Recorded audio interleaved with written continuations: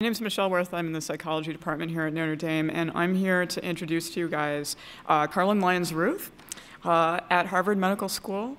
Um, just going to tell you a few things. Uh, she got her PhD in, in, developmental psychology from Harvard University, um, and her work is uh, elucidated um, different ways that attachment relationships change, for example, in high risk environments, over the whole uh, period of development in infants, in child, in children, and adolescents. Um, she's developed uh, uh, a, scale, a scale to um, assess attachment uh, called AMBIANCE, which is used uh, quite a bit now. And she was part of the first group to um, discover some of the really important effects on children of maternal depression, of being raised by a mother who is depressed. Um, she served on a number of councils related to child mental health and social policy.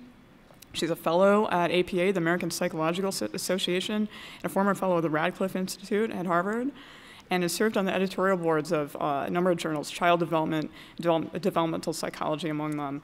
Um, so without further ado, I'd like to uh, present Karlen Lyons Ruth, who's going to be speaking on When Love Goes Awry, Maternal Investment and Child Adaptation in Disorganized Attachment Relationships. Thank you.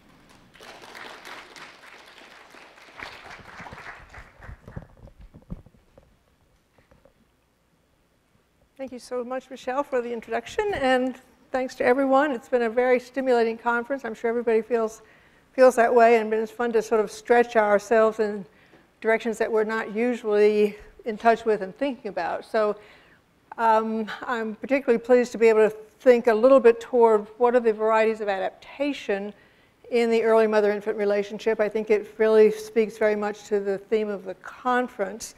Um, and of course, there's so much that we would like to know and still don't know about what, how we adapt to varying degrees of disturbance in the early environment.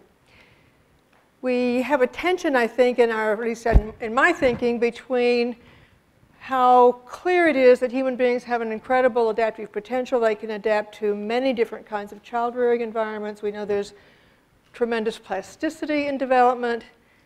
And yet, somehow, um, we also know that there are these points where it's hard to see this as just plastic adaptation. This is the, some of the results from the A study, which Michelle also mentioned, I mean, yes, earlier. Kristen, I'm sorry, Kristen mentioned earlier um, which has found tremendous uh, both health risks and mental health risks as the adult sequelae of early child abuse and neglect. Now, that was assessed by self-report in adulthood. So we don't exactly know. We're at a little bit of a disadvantage. Of course, we can't ask children early on, are you being abused or neglected? So we have to wait until they grow up, or we have to have protective services find some very major kind of slippage in the caregiving environment in order to identify these children earlier. Um, and of course, uh, because Frances is here, we don't have to reiterate the wonderful results that have begun to point us to the stress response system as one aspect of neurobiological functioning that's highly responsive to the quality of early maternal care. Um, and she went over how many um, outcomes, including stress response in infancy, earlier puberty, enhanced sexual activity, uh, and then offspring in the next generations, and then down to the third from her slides, uh, showing this increased stress responsiveness. So one critical mechanism that we probably are interested in is how, what affects the stress responsiveness of the child early on and has this kind of cascade effect on various aspects of neurobiological development. And Frances also gave us a wonderful description of how um, the methylation process works so we know in detail exactly how the caregiving environment is being translated into these effects on gene expression. But of course, we talked about the licking and grooming and archback nursing in the rat models, and we have a much more difficult time knowing what would be the analogs in maternal caregiving. Um, that might be similar to that licking and grooming or archback nursing in rat models. And that's sort of the, a very um, broad challenge to those of us looking at risk in, in infant development. So we think there are probably tipping points depending on what your criterion for an outcome is. There's some point at which the human adaptive system begins to really bear a lot of cost um, and what would be, how would we identify some of those early in development when we have a chance to intervene and prevent those long-term outcomes.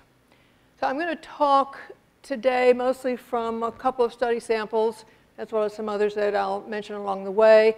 Um, 120 young adults that we've been following from low-income families, poverty level, um, mostly Caucasian sample, um, but 76 of those we followed longitudinally from infancy, and it'll be that group that I'll focus on more in the talk today. And because it's after lunch, I'm also going to show you videotapes so that you don't have to be too taxed by looking at linear kinds of slides. And I do want to thank so many people from so many phases of the study who've contributed to the work that I'm going to present today. So one of the things we've learned over our last um, 10 or 15 years in infant research is that there are three types of deviations in the infant's behavior that we've been able to identify that are predictive of later social, emotional difficulties. And these include disorganized attachment that has an avoidant characteristic. I'm going to show you examples of these two as we go. Disorganized role-confused attachment behavior, and also indiscriminate attachment behavior. You'll see these can look quite different. They have possibly different outcomes, which we're just beginning to explore. So we'll see what I can tell you about those trajectories. Um, it's been much more, we have these nice descriptions now of infant behavior, which have really held up over a number of studies. We have much more difficult time, given the complexity of maternal behavior, in identifying what are the deviations in maternal behavior that might be particularly associated with any of those kinds of infant outcomes, even in infancy, and certainly then what might predict beyond infancy. So tremendous challenge to us in developmental psych. Um, also, we have a nice window from attachment researchers. In the 80s and 90s, attachment research began to map out varieties in adaptation in the infant caregiver system and the array of infant behaviors um, that resulted from that. And I think one of the very important uh, reasons that that research was so seminal is that the attachment theory focused in on the regulation of stress response in infancy. That was the heart of what it felt like we needed to look at in the parent-infant transaction, and so that's where the focus was in that research. And what we've found, just to review this very briefly, I'm not going to go into these um, organized strategies, but first, as we were looking in normative samples, what we found was there was an array of ways that parents and infants adapted that were, if you were clinician, you might call them the, the sort of normal and, and neurotic variations of uh, adaptation in infancy. These have their differences, but they don't necessarily predict later disorder. And what we talk about as a secure attachment is really a, a, a, communication system that's open communication between parent and infant. The infant is free to express a whole range of affect, anger, distress, sadness, positive affect. The parent seems to be flexible and balanced in their ability to respond to this array of affect. And more than half of the world's population that's been studied so far, although of course it's more heavily Western, um, is in this group. So most parents can get these signals and respond to them. On the one hand, then, we see some parents who are a little less comfortable with close, sort of touchy-feely kinds of interactions. Their infants seem to be able, and this is all by the end of the first year of life, their infants seem to be able to adjust by not showing much distress, not seeking contact. But these are still parents who are generally attending to the infant. They're providing good care in general. They are just more distance in their interaction. The infant adapts to that very early and also begins to be more distanced in the way that they approach others. On the other side of the uh, spectrum, we have infants who are more likely to heighten their attachment behaviors rather than sort of uh, deactivate them as on, on, this side of the spectrum. And ambivalent infants are seen to show a lot of distress, more anger toward the parent, as a way we think is a strategic alteration to get involvement from a less involved parent. And so these have been described over many, many samples in normative groups um, around the world now, and culturally you see cultural shifts in whether you see a higher proportion of uh, infants who are doing the more deactivating versus a higher proportion who are more hyperactivating. But also across cultures, if there's a sensitive, responsive caregiver, you're going to get a preponderance of the infants, regardless of culture, in this basic secure group. So it seems to be a very highly pre-adapted capacity of parents and of children.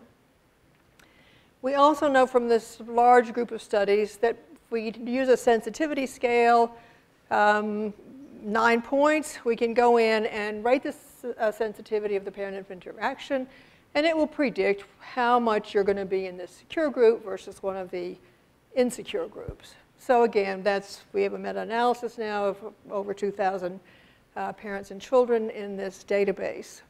So pretty well established.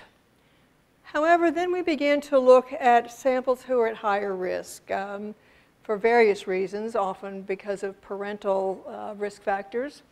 And we started to see that we could not see the kind of organized, secure, or deactivating or hyperactivating strategies that had been so well described in middle income normal samples.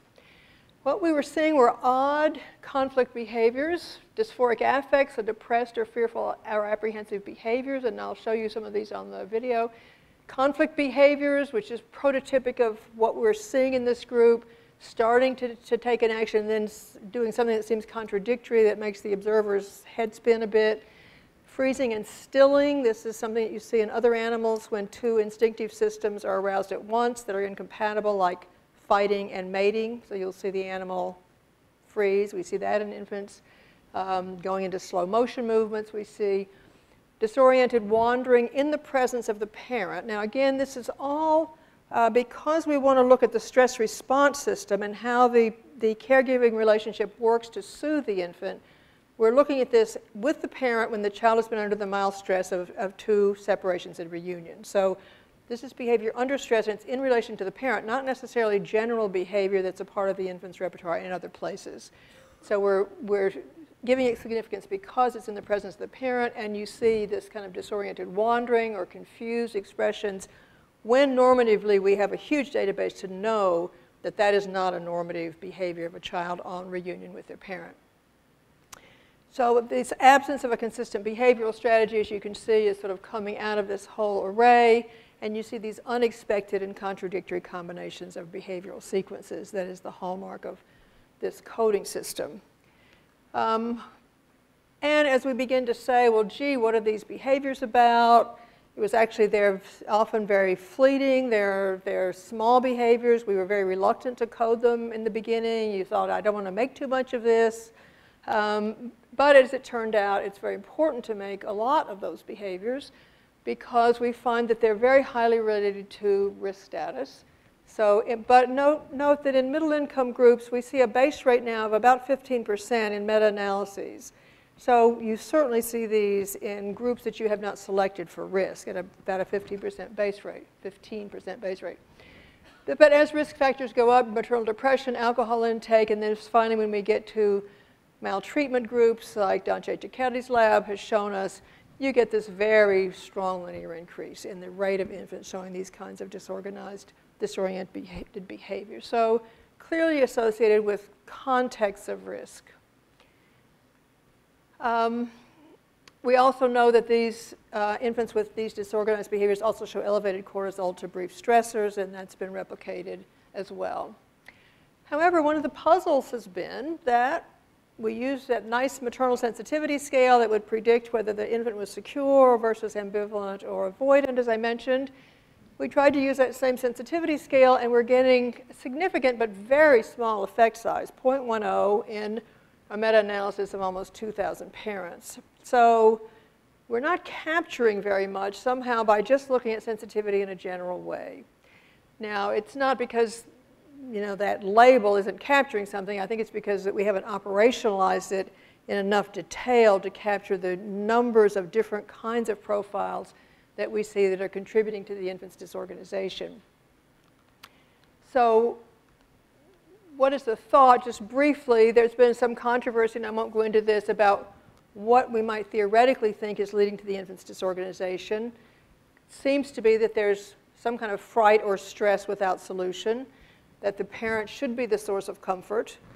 And either the parent is frightening to the infant, which Mary Main has talked a lot about, or a more broad hypothesis is the parent simply cannot provide the comfort needed, and therefore the child is showing this back and forth contradictory ambivalent behavior. And I've been um, sort of more thinking along the lines of a more general hypothesis.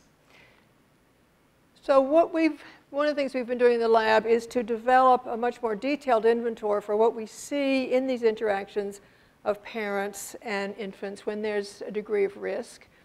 Um, and there are five dimensions that we now code in these inventories. Um, negative intrusive behavior is the easiest one to see. We don't miss that. Anybody using even the simplest of observational measure will see these negative and intrusive pushings and pullings of the infant. Um, role confusion is a little more subtle because it's things like the parent drawing attention to him or herself um, as the infant, when the infant is stressed. So, did you miss me? Did you miss me? Give me a kiss, give me a kiss at the time when the baby's distressed and needing comfort. Not something you'd initially say, oh, that's bad parenting necessarily. Um, but it's something we've coded and it seems to have significance. Contradictory affective communications, you often see uh, the parent giving mixed signals. We know that at 12 months, uh, from work by Larry Hirschfield, that infants pick up mixed signals and give mixed signals back when parents give mixed signals. So we also code these kinds of mixed signals. Uh, when the parent shows disorientation, so we see odd affect in parents, and if I have time, I'll get to this toward the end of the talk um, where there's a sort of a false affect. It's really not giving you access to a real, genuine affective uh, core of the parent. And then withdrawing behaviors, and we're going to hear more about these, um, which are not, you know, this is not a dead mother sitting in the corner. This is interacting from a distance, um, interacting silently, um, walking around the infant when you come into the room. So the mom is active, but she's acting in ways that keep her distance more from the baby. And this uh, coding system has had a good validity. It does predict infant disorganization with a much bigger effect size, and we've had a meta-analysis now. Um, but also strikingly good stability over time, which is important. So for up to five years, we've coded this now up to age seven, or Diane Benoit did that study in her lab. Um, so it looks like the, we can code these things reliably and we can see the stability in these behaviors. So clearly important for us to be indexing. So the first wave of results from the study, this negative intrusive behavior, they say it, it jumps out at you. I'll just I'll show you an example in a minute. And what did we find in terms of outcomes at school age and beyond? So first, this is the kind of behavior that's associated with this disorganized avoidant behavior in infancy. So the infant is showing odd, contradictory behaviors toward the parent, uh, often with a lot of avoiding of contact with the parent. This is also predicting hostile aggressive behavior three years later, three and a half years later. In kindergarten is rated by the teachers, and also in second grade is rated by another set of teachers. So clearly something important um, about this that has prediction long term. However, one of the surprises, we've, as I'll get to, we now have data at age 20, and we're finding a harder time seeing what that leads to at age 20. Um, so it's, there seems to be some, some shifting between what's, what the outcomes that you see uh, in early school age and what you see at age 20. And I think what we're, going to, what we're probably going to be able to trace is an indirect pathway to very disoriented interaction with the parent by, use, by the time that we get to age 20. So let me just show you one example of this type of interaction with a parent, and then we'll go on to some of the other more subtle types. Um, let me just. So, how do I IT guy go?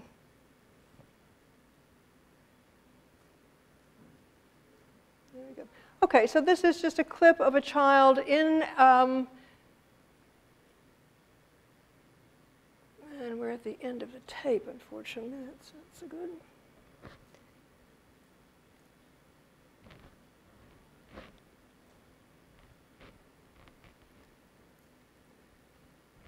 Sorry, my laptop motherboard died on the way down and we've had to transfer everything over, so it's a little bit. Okay, here we go.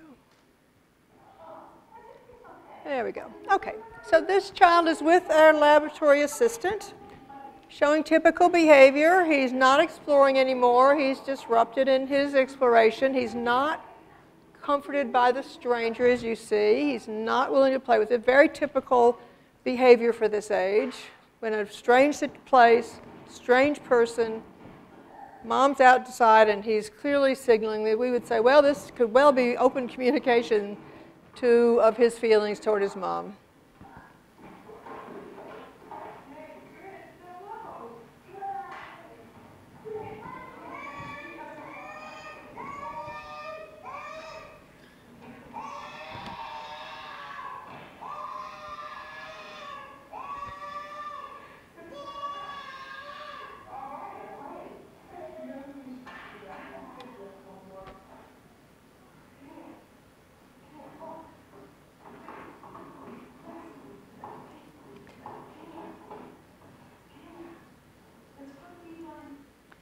just to comment a couple of times. So clearly your head spins a little when he's there calling for his mom and he suddenly turns around and runs away. That would be a contradictory behavior sequence. That's the kind of thing would be prototypically disorganized attachment behavior. Um, you notice then, of course, mom overrides his cues to get away. She grabs him, she picks him up, so we're coding the mom's hostile and intrusive behavior there. She's also smiling over his distress, so she's not matching his affect by saying, oh, you you're upset, you don't want to be picked up, here I'll put you down. She's trying to override it. And of course, then we see him uh, really resist and move away. Yeah.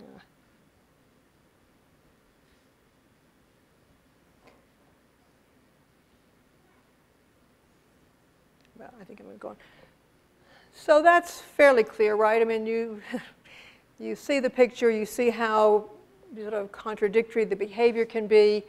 Clearly, we're concerned about that child. Makes sense that this might be a pathway to a lot of hostile behavior again um, acted out toward his peers later. However, when we look at other subgroups in this uh, high-risk population, what's been also emerging very clearly is the impact of these early maternal withdrawing behaviors. Um, we didn't initially see these as, as, as important as they've turned out to be. I suspect that, and I know that in many widely adopted coding systems, we, this, this isn't being coded as a, something that's being focused on in particular. It may be some kind of detachment variable, but usually nobody gets coded as extremely detached. I've been talking to people who've done the NICHD study, and we've been coding some of the videotapes from that study, and that was not a coding system originally that included a focus on early withdrawal. As we've looked at these tapes, however, and looked at our data, there's a clear profile that emerges of the parent not initiating around this, and of course, Kristen has some echoes of this in, in the data that she was presenting, the parent doesn't initiate around attachment, so they're not greeting the child when they come in. They don't take the initiative to comfort the child or go to the child. They delay if the child signals. They respond just minimally to pick the child up and put the child down again, get the child comforted, and then away. Direct the infant away from the self to the toys. So rather than using your emotional and bodily physical self as the soothing person, you bring the toys around the infant and redirect the infant away to the toys. Distance interaction, interacting from across the room rather than getting closer to the baby. Sometimes you'll see the mom turning the baby around away from her rather than interacting face to face.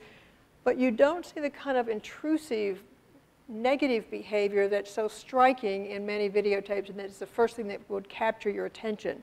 And in the absence of that, we were reluctant again to see this as you know, very important profile of behavior.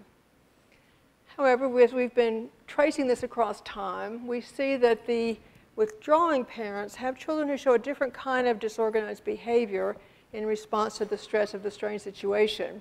So we get this disorganized role confused behavior, and for those of you who are familiar with this literature, it used to be called pseudo-secure behavior because the baby goes to the parent, they do seem to get comfort to some extent, but they're still showing these odd contradictory behaviors. So something not right about that.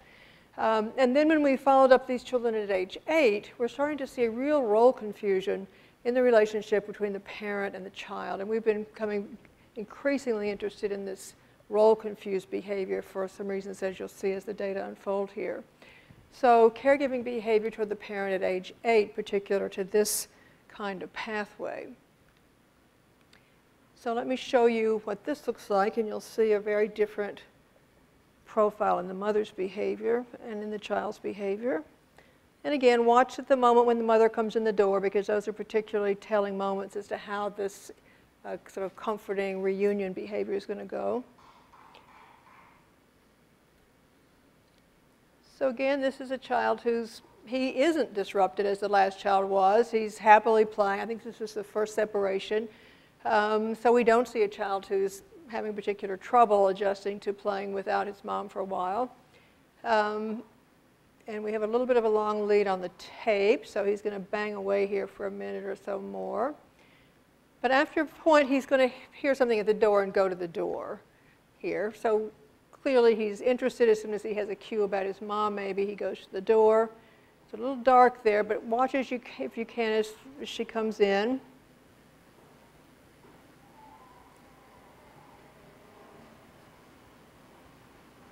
That's the lab assistant leaving.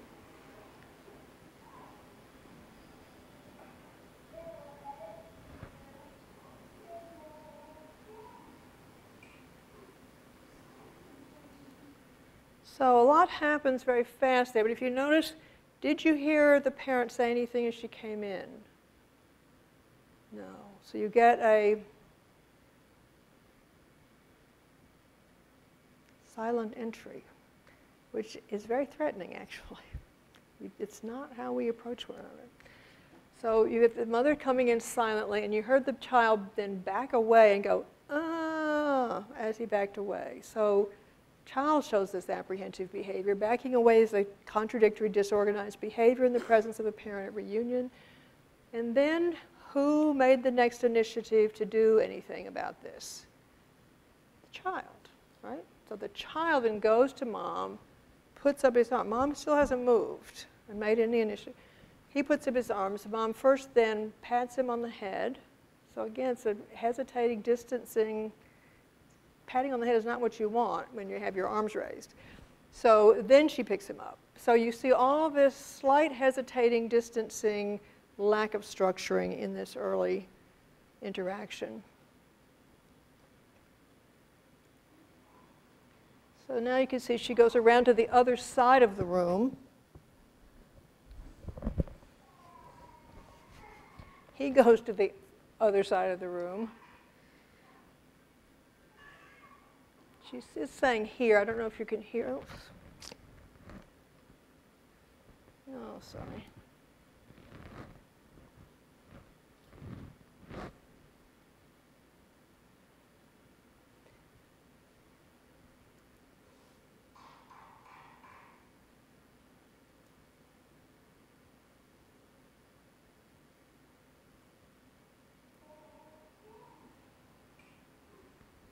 So again, this was the sort of quick put down, although he's not actively distressed, so you wouldn't, and going around to the other side of the room.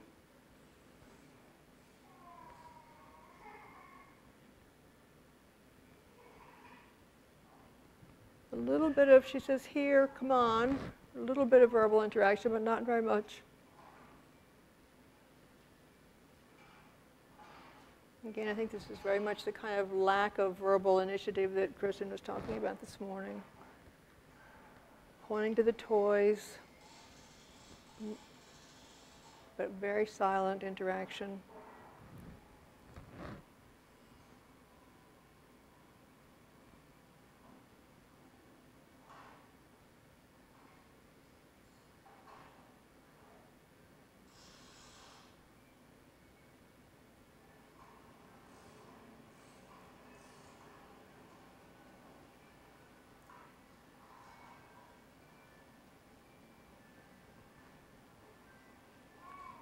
So this is, again, another profile that we see over and over again. We now recognize it. We can code these different aspects of it. Um, is it particularly important? We saw that one pathway then was to lead to this role confusion for the child. So let me just show you this um, pattern then at age eight of a child who was also showing this kind of approaching the mother, looking for something, taking up the responsibility for maintaining the relationship even as early as 18 months of age. And then we'll go on to the adolescent and young adult outcomes for this group. Oh, sorry.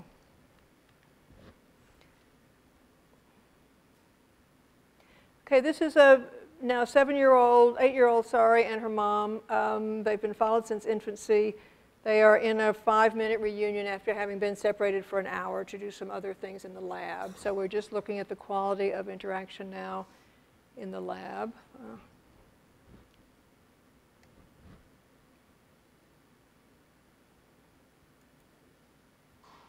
mm.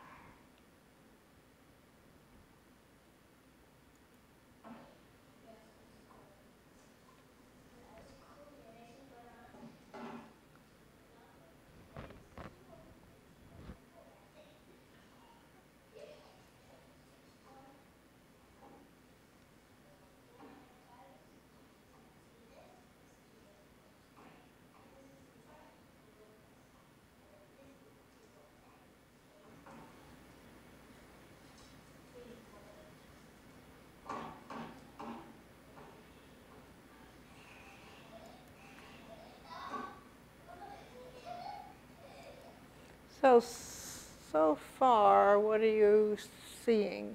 We've an animated little girl here. So she's carrying most of the interaction.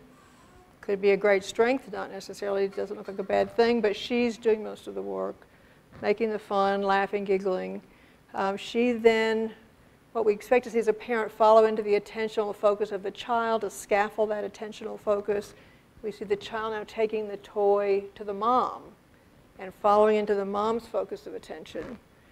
The mom then said, okay, mother, and stuck a sticker on the daughter's forehead. And the daughter laughs it off and smooths over the hostility and manages the hostility in that behavior of the mom's.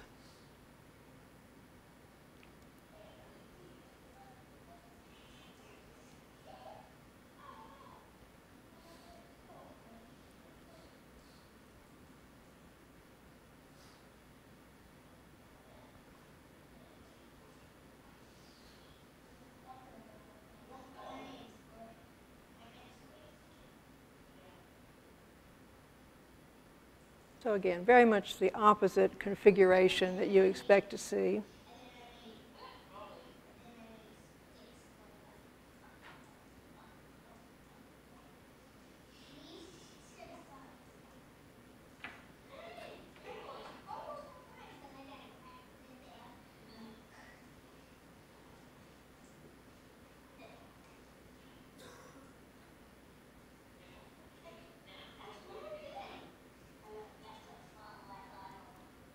Okay, so she then says mom to mom, that's really good. So you see this kind of encouraging, guiding, structuring, enlivening, managing behavior. And we see this as early as age three. In the NICHD study, it was, study, it was coded as early as age three. So very early, the child has the capacity to, to, to take on the burden of trying to maintain the attachment relationship when the parent is not being active enough in pursuing it. We also know from Dan Schechter's lab in Geneva that maternal withdrawal in this kind of pattern seems to also relate to the mother's trauma history. We see that mother's childhood trauma is related to PTSD symptoms, and those symptoms are related pretty strongly to maternal withdrawal. So another pathway through the mother's symptoms and the potential of the mother's own history to be carried forward and then very interesting to us, we also see the mother's trauma leading to lower maternal basal cortisol in interacting with the child. Now, this is our, these are 12 to 48 month olds, older children. And again, that's showing a trend toward being related to withdrawal. So there's a constellation here then of possibly blunted stress reactivity in the parent that's a part of this lack of emotional responsivity in the interaction with the child, and that may be related to some constellation of trauma for the mother and active PTSD symptoms. We've also done another cortisol study uh, with Bjarne Holmes in Scotland. We have 63 low-income Scottish mothers um, with a still face procedure, face-to-face. -face. The important thing is these are four-month-old infants now. And what we find is that among mothers who don't show any of those kind of five kinds of behaviors that I talked about, we see what would be a normative cortisol response. The mother is the darker line. She's not stressed to an interaction with her baby in a face-to-face situation. The baby shows stress when the mom does a still face and doesn't interact, and then comes down again when the mom resumes interacting. Nice profile, and their, their levels are pretty similar, as you see. As we begin to get to slightly disrupted interaction using that AMBIANCE coding system, the mom still is not showing any stress to this, but the baby's starting to show a little more elevation in stress and a lack of recovery. The really striking part of this, though, uh, for us has been the most disrupted group. And here we're showing this, finding this very unusual blunted cortisol response of the mothers that seems to mirror what Dan Schechter was finding among his mothers, that you see a low baseline, this was done in the home, so as as you begin this procedure in the home, the parent already has a very abnormally low baseline, continues to have a low baseline. The infant also is showing this low blunted baseline as we come into the home, and then shooting up in this, their stress response over the course of this uh, interaction and the still face stressor and not recovering by the end.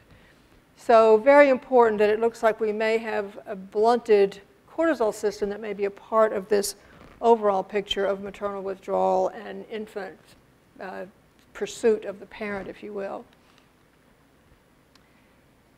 So what might we see as sequelae of this in early adulthood? We've now done a 20-year follow-up and are looking at 20-year outcomes for these infants.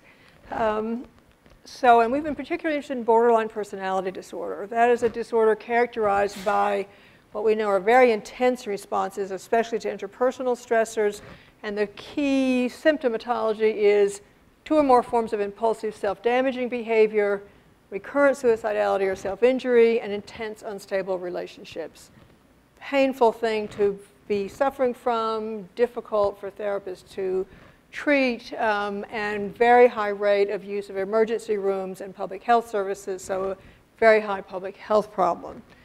Um, and what we're finding is that this early maternal withdrawal coded at 18 months in the videotapes is predicting a whole range of sort of borderline related symptoms. Borderline features, recurrent suicidality looked at separately, substance abuse, conduct symptoms, eating disorders, and antisocial personality disorder. So these are all sort of axis two expressive dramatic um, aspects of psychiatric disorder in young adulthood. They're all correlated with early maternal withdrawal. Now, of course, over 20 years, you wonder what the mediators might be. We've got, you know, all these intervening years. What might be carrying this forward? Why is this um, affecting us 20 years later? So we've been looking at a succession of potential mediators. We first looked at this role-confused interaction in middle childhood, which, as you can see, does predict borderline features from age 8 to age 20, so a predictor. But when we control for whether or not the child becomes role confused by middle childhood, we see very little drop in this overall effect of maternal withdrawal on later borderline features. Uh, no mediation by bootstrapping, and if you use just suicidality as the outcome, you get exactly the same effect. We are also looking at similar kinds of behaviors and interaction at age 20. So we've, there wasn't a coding system for age 20. We've developed now an attachment-related coding system. This is the factor analysis of the behaviors. So we get punitive, disoriented, and role-confused constellations of behavior that we can identify and code reliably by age 20. So we looked at whether maybe the, the way the parent and the adolescent were interacting at age 20 would be one of the mediators of why early maternal withdrawal may have an effect on borderline features. Maybe it's just being carried forward in the the interaction, and we see it at age 20 in the interaction. Again, role-confused interaction has been a very interesting finding for us clinically is related to borderline features and suicidality. So taking on all this responsibility for the relationship is paradoxically related to impulsive and self-damaging behavior in relation to the self. But when you control for that, all the variance is uh, accounted for by concurrent interaction, you get no real drop again in the variance predicted by early maternal withdrawal. So again, not a mediator. We then looked at childhood abuse. We have a number of measures of childhood abuse, including the, the young adult's own self-report, as well as all of our measures over time. Again, definitely correlated with borderline features. We know that from a lot of studies, but no drop in the direct prediction from maternal withdrawal by that mediator. And then finally, we've looked at, we were collecting genetic samples on this cohort. We looked at the short serotonin allele thinking this is a stress responsive allele, so possibly maternal withdrawal is in some way either correlated with or uh, interacting with the child's stress reactivity potential genetically. Um, and again, we do get a relation between that genetic reactivity and borderline features in the sample. But again, no real drop in the effect of early maternal withdrawal, and we control for that potential mediator as well. So we have not been able to find anything yet that mediates that very substantial effect over time from early maternal withdrawal. Now, I just I think what are the implications? Well, for one thing, we don't want to take on a domino model. This is not something where something happens in infancy and it sets everything in motion from there on. We have controlling and disorganized behaviors that continue to evolve into middle childhood, into young adulthood. They make separate contributions from those later phases of development to whether or not there'll be borderline features and suicidality.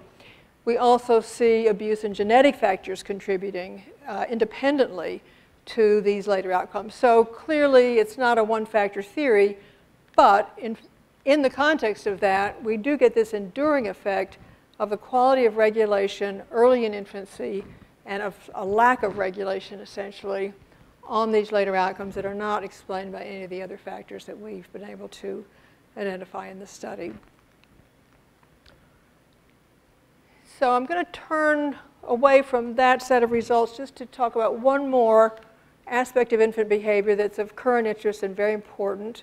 Um, we're only beginning to be able to study it outside of institutionalized children. We know relatively little about this early deviation, but I think it's particularly important because I think it edges us closer. I think it's a more severe deviation and it gets us closer to really serious tipping points and what the human infant can adapt to without becoming non-functional as a, as a species member.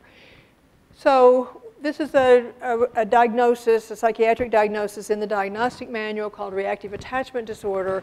But what it mostly looks at is what we also call indiscriminate attachment behavior. So the child going to a stranger who they've never met and seeking close contact, crawling into the person's lap, um, and at older ages, um, having sort of a lack of personal boundaries, whether it's physical boundaries or asking personal questions that you wouldn't usually ask. So not really having appropriate social boundaries.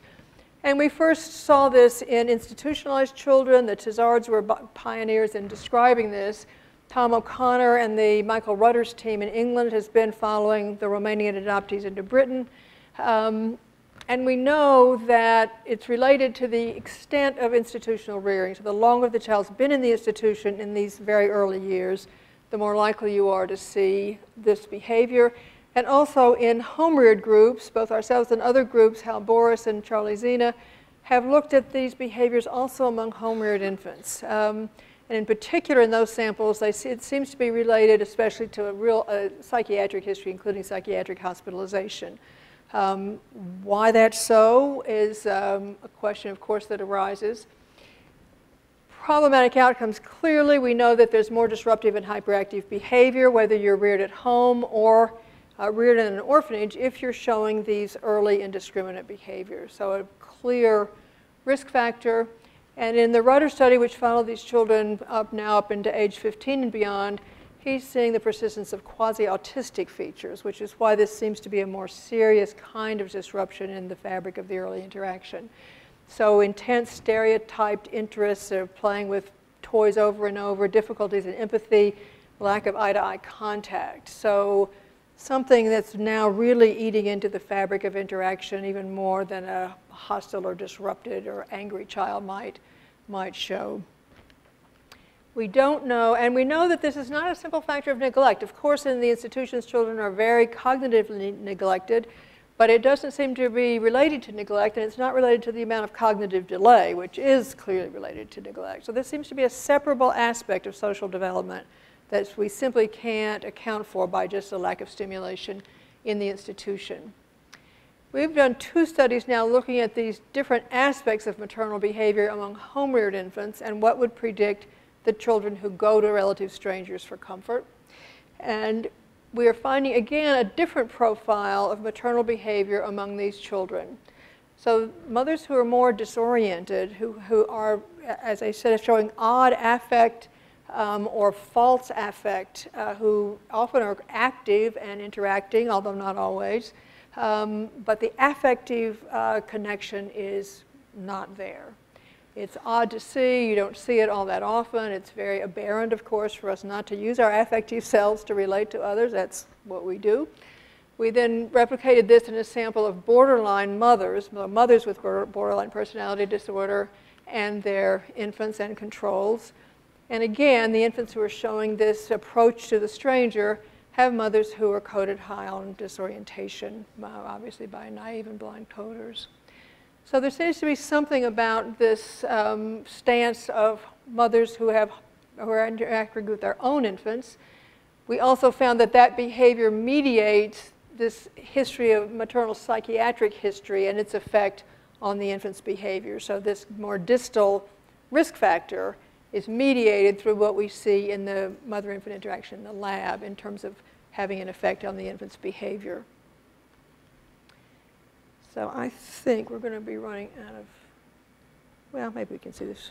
Um, so I'll show you one quick clip of this. Um, so what you'll see then is this uh, reversal in the child's behavior. Um, the mother's behavior is less typical because she does very little. So this child is upset, and we're going to see, we saw a little bit of the lab assistant in that first tape where the boy's going to the door, knocking, and going back to the lab assistant and going back. Very atypical that any child of this age would be comfortable with the lab. So here's our lab assistant.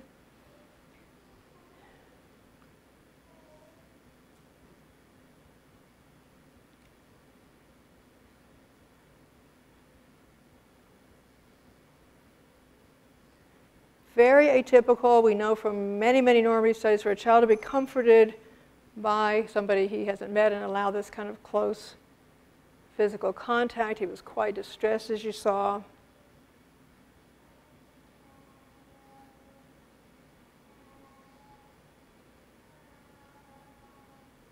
You see, he's now so soothing. She's starting to rock him. Very lovely interaction.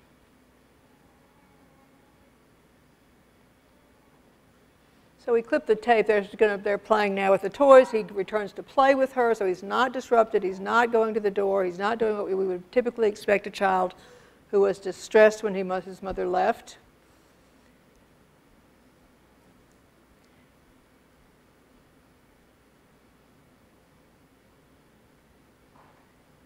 And his mom's going to come in shortly. And of course, he's here happily playing.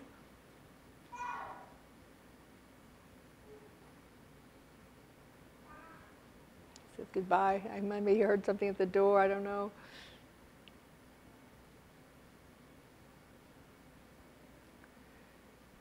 So here's his mom now going to come in.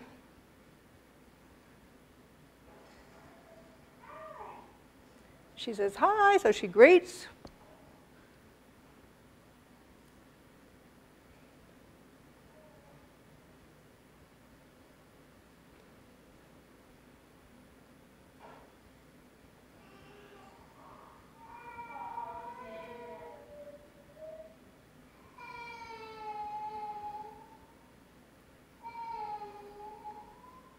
So this is heartbreaking to watch.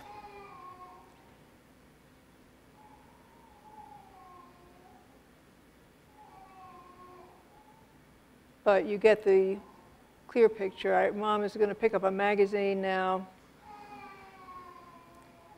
and read the magazine. So very unusual behavior on the part of the child and of course on the part of the mother. Now, she was also very withdrawing in this, in this clip, but you heard that cheery, high voice, and in, in general, we see these moms being interactive and with a lot of this kind of cheery, false affect. It doesn't feel genuine, it's not soothing to the baby. Um, and at home, she's actually quite a capable mother, if, as long as she doesn't have to get close to the baby. She's, take, she's taking care of one of the nephews and um, quite competent. So we've been thinking that possibly one of the things that rotating caregivers have in common with these disoriented mothers is the failure to provide consistent affective engagement. And I mention this because I haven't heard this talked about a lot, but I feel like it gets to the core of our, our species' capacity for adaptation because this affective core is really central to making a relationship with the baby that then draws the baby into an attachment relationship, leads the baby to identify with the emotional attitudes of the caregiver, and then scaffolds all of these milestones of early development, which Kristen was mentioning to us this morning. Um, beginning to share with others, referencing others, pointing for others, beginning to be drawn into how we learn to collaborate and make meaning with other, other people. So very important if this basic emotional identification and attachment gets disrupted in this very significant way. So I'm just going to close by talking about some of the neurobiological work that we're doing most recently with this cohort. This was in uh, collaboration with Diego Pizzagalli's lab on depression at McLean and with uh, Marty Teicher's lab, who does a lot of work, I think he was here two years ago actually, on uh, PTSD and childhood abuse and later biological correlates. So this was a small subsample of the cohort that we've been following. If any of you have done MRI studies, you know how many rule-outs there are, like left-handedness and a lot of things. Um, however, this sample turned out to be quite representative in its uh, young adult outcomes of the larger sample. So I think these actually are likely to generalize well to the larger sample. And the three studies that we've done, one was with uh, Diego's lab where we looked at reduced activation of the left basal ganglia to cue signaling reward. So this was an fMRI task. It was a signal detection task. You're given a cue. It's a very simple task where you're just supposed to say whether the smile on the face is longer or shorter. And you're given a cue that you might get a reward on the next trial. And typically, normal subjects will respond a little faster, be a little more accurate. You know, they'll perk up and do better. Um, that does not happen in our people with early adversity. You do, these are dopamine-rich pathways in the basal ganglia. You see them not reacting with this increased response speed and also with the reward centers um, in the basal ganglia not responding in the way that they do in control. So you can begin to think about what this does to your ability to think about future reward, to plan around future reward. It, you do not see this difference when you get the reward. So it's not about whether reward makes more or less difference to you. It's about the possibility of reward having some kind of incentive value that suffuses the brain with something that draws, it increases your attention and your, your motivation. We also are looking at gray matter volume and cortical thickness in the orbitofrontal cortex um, with Marty Teicher's group um, and finding that the early adversity group has less gray matter volume and cortical thickness. And the orbitofrontal cortex is one of these key areas that links the limbic system, the emotional system, to the higher order regulatory functions of the cortex. So very important pathway getting us to sort of balanced and regulated emotional behavior. And then finally, we're just uh, finishing up these analyses we are seeing enlarged right amygdala volume in the early adversity group. And I know Nim Tottenham's group was look, has looked at, I think it's children in middle childhood who had uh, histories of being orphanage reared. And she's also finding enlarged uh, right amygdala in that group. So even among our home reared children who have this early history of adversity starting in infancy, we're seeing this right amygdala volume enlarged. And this just shows you this is the results of the reward cues, you see here that the maltreated group is not showing this elevation um, in the, this would be the pallidus, to the reward cues, whereas the control group certainly is. We don't see as much difference in relation to loss cues, interestingly, so it's really about reward and the saliency of reward. And then this shows you the gray matter volume and cortical thickness results. And interestingly, of course, we're getting the case control difference here but also, if you ask them use a parental bonding instrument or a, this parent-child quality of relationship measure that we developed, you get very strong uh, correlations between how the young adult is rating the quality of the relationship over time with both of these measures of, of cortical volume. So clearly something important is going on in these trajectories of early adversity. There's much, much more that we need to understand. And I think one of the things that I'd just like to close with is that we tend to, I, I tend to speak of the underlying process being a biological process, um, or that the biology underlies the behavior. But I want us to sort of be careful about that because, of course, it's just as likely that the behavior is what's sculpting the biology. And that, in fact, these are all results of early behavioral transactions that failed to uh, regulate the stress response system, that failed to contribute to uh, increased gray matter volume or reduce the size of the amygdala. So we want to think about how important these first three years are from a developmental standpoint. We're getting the basic neurobiological foundations, as Kristen talked about earlier, for self-regulation, for attachment, for identification with others, for early moral attitudes like empathy, shame, and guilt. I know Darcy is interested in these. Collaboration with others, which we begin to see developing in these play contexts that Peter and others have talked about um, very much supported by what's happened in this first three years and the ability to move into that kind of collaboration and making of meaning with another person where you have to very subtly shift your behavior according to the cues of the other. So these are all things that are emerging out of our early caregiving environments and that are contributing to undoubtedly to the neurobiologies that we're coming out with here in early adulthood. So thank you very much and we're open to questions.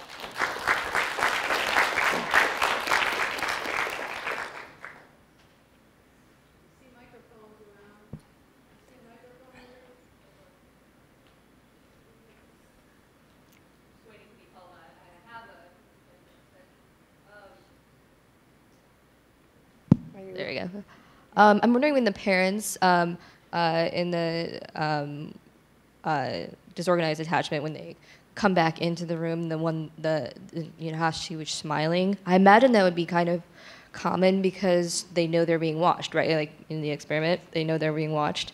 So they would be, eh, do you think maybe they're kind of embarrassed about the child's behavior as a reflection on them because they know that the child probably should be happy to see their mother, so they might be smiling out of embarrassment? And how do you, if so, how do you distinguish between that and whether or not she's smiling at the child in a sort of, you know, fake happy sort of way. Mm-hmm. Yes, well, certainly, certainly this is a very artificial system. Certainly, this is not, we would be very cautious about what we could conclude from this kind of artificial system if we didn't have two decades of research saying we get at something very important that's predictive later on down the road. I mean, we saw this first in predicting to preschool outcomes. We're now predicting even further down the road. So you're absolutely right. It's a laboratory situation. We wouldn't know without a lot of data whether we can really make something of the behaviors that we see.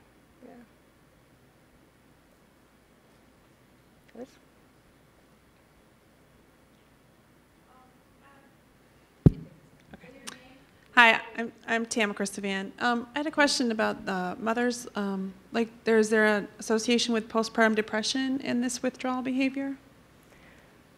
Not really. What we found, we did a lot of work on depression in this sample earlier, and the depressed mothers in, and, and this is often true, especially in poverty samples, uh, are much more hostile and intrusive to the infant than they are withdrawn. I mean, the, the typical uh, images of a withdrawn mother who's, you know, sad and depressed and sitting back in her chair and not interacting. And I'm sure there are times when that happens. But when you're pushed to interact, what we see more typically is this kind of hostile and intrusive, rough handling and overriding the infant's cues.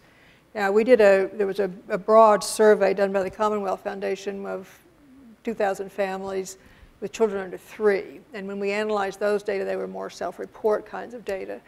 But when we analyzed those data, we found that both lack of structuring in the survey instrument and more physical punishment were associated with parental depression. So probably we get a mixed bag. It's not clear whether these are two separate groups, for example, or whether the parent simply responds differently depending on whether they're really being pushed to have to step up and do something. but the withdrawal profile itself was not associated with depression. We think, partly from Dan Schechter's data, that it's more of a PTSD sort of blunted affect kind of profile. The mothers are active, they're there, they're doing things. I mean, the mom came in, she went around and she got the toys. It's not as though she's can't function, um, but she's not able to allow the closeness with the child. Pardon? Dissociation? It was not, we do have dissociative symptoms both on the mothers and the, the, the young adults. That particular behavior does not predict dissociation. However, the um, indiscriminate attachment tape that I showed you, where the mom goes and sits down and opens the magazine, that, again, we don't have enough of those in the sample to really know whether that's going to predict dissociation in that young man. But the mother, uh, very interesting history, when this young man came in at age 20 and did his interview about his early childhood, he said, I had a very atypical childhood because my mother was in a coma for the first 18 months of my life. Now you've just seen, you've just seen the videotape. And I, I thought I was losing my mind. I thought, I know this, I, no, wait, we, she was in our group, you know, she came in. So she certainly was in a dissociative state looking back. And that was what she told her child, is that she wasn't there, that she was in a coma. So there's a lot more that we need to understand about the altered mental states that go with trauma and how that's impacting parenting and what these different manifestations might be in the parent-child relationship. Yeah, Darcy? Did you, have you looked at uh, birth experience with this child, the mother and child birth experience? Whether there's additional trauma there besides her own childhood trauma that might be We have predictive? not. We picked them up after clinicians, for the most part, clinicians identified them during the first year of life, so we were not there in the pregnancy and postpartum period. Darsha asked part of my first question. Oh. um, I'm wondering about breastfeeding experience. If you if you looked at duration of breastfeeding during that time, exclusivity. Yes. No, and many mothers were not breastfeeding at this point. These were mothers, these children are now 25, 26. This was late 80s, uh, especially in the low income community. Few were breastfeeding. So did you actually track it with these, or you- No, we, this- we didn't, we did not systematically gather data, but Okay. we were visit, home visiting them um, and seeing sort of what, how they were handling the infant. and It strikes me also to Darsha's point, the um, the you're mentioning the PTSD. Um, a lot of mothers describe the emotions around um, having suffered a traumatic birth to be PTSD symptoms. Mhm. Yeah, so right. I wonder how that would correlate. Well, and these mothers had a very high rate. I mean, we're talking more on the child and the child's outcomes, but the moms in this study had a very high rate of childhood sexual and physical abuse. So they had ample reason to have PTSD symptoms from multiple, multiple sources. Yes. I, I'm, um, I realize this is a study of earlier withdrawal. Uh, Is there a, a different kind of profile if the withdrawal with, occurs at different developmental stages? Does it, a different kind of outcomes, Yes, well, I wish I knew. I wish I knew. We, we, I mean, we, we we looked at age eight and we've looked at age 20 on videotape. So at age eight, we don't see the same outcome as we do from the early maternal withdrawal. And we don't see it accounting for the effect of early maternal withdrawal. So I can't tell you whether, it, and it looks like if it's, I, I don't know because so, in so many cases these were more continuous relationships. So you'd need to know that it didn't happen in infancy, but then it started because of some kind of change in the family or the mother's mental health later. And we don't have that kind of control to know.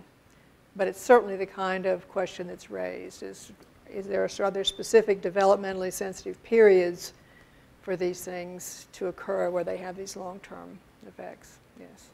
And of course, Marty Teicher's work has been looking at the timing of childhood abuse and looking at different effects in brain volume and structure based on the timing of different developmental events. So maybe he'll have some answers for us. Um, I'm Joanna McNeely. Um, I was just struck that it didn't really seem to matter what income class you were in, that you could still have all of these, uh, you know, the trauma and it affect your children. Were there um, education levels that you guys saw as, um, like, you know, some had uh, more or less levels of education? Well, this was a poverty sample, so we don't have the whole spectrum. Actually, right now, we're working with the NICHD sample of 1,200 families, which is mostly a middle to high income sample, seeing if we can track some of these trajectories. Um, unfortunately, in that study, they didn't specifically pull out this early withdrawal in the coding system, so I don't know how much we'll be able to do that. But we at least are finding that if we, if we, if we do a latent class analysis, we pull out a maternal withdrawal composite by preschool age, we're getting the prediction to impulsive and self-damaging behaviors at age 15. So it, we'll see whether it replicates across income groups. One of the important things that uh, about this cohort is even though it's quite disadvantaged, all the findings in this cohort have tended to replicate and be validated by meta-analyses in much broader income groups. Um, so I, I feel good about how, how likely these things are to generalize. Behind you. Yeah, okay. Hello, I, I have had them, I've been sitting over waiting for a Oh, Um, I have, so, oh, I'm a young uh, graduate student at Cleveland State University in sociology. Um, I was struck with the videos particularly. I have several friends that are my age or older with high functioning autism, also known as Asperger's syndrome. Mm, Yes. And when I've seen them like come over to my house and interact with my own children, a lot of it is very similar to the mothers entering the rooms. Their affect, they, their delayed greeting. My children are t- more likely to initiate the greeting and the interactions than the, than the adult is. And so I'm wondering if there's been any studies in relations between high functioning autism parent, uh, parents with high functioning autism and th- these kinds of attachment styles, especially since the diagnosis has become more prevalent in Yes, recent years.